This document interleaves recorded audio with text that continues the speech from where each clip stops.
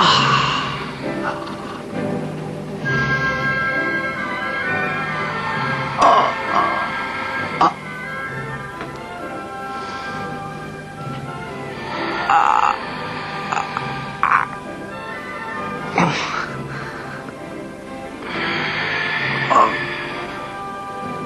I couldn't believe Anthony last night. Ow!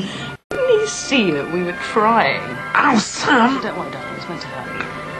Are you sure? Look, relax, Ravi. You've got to relax. You see, that's exactly what happened last night, just as we were. I don't believe it. He's not in, honest. Oh, I'm sorry.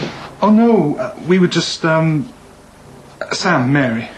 Oh, pleased to meet you. And you? We were just um. What is that? Good fun. Right, well, I'll leave you to it. I wouldn't hold out too much hope for that cash. Sam, you're a doctor, aren't you? Yes.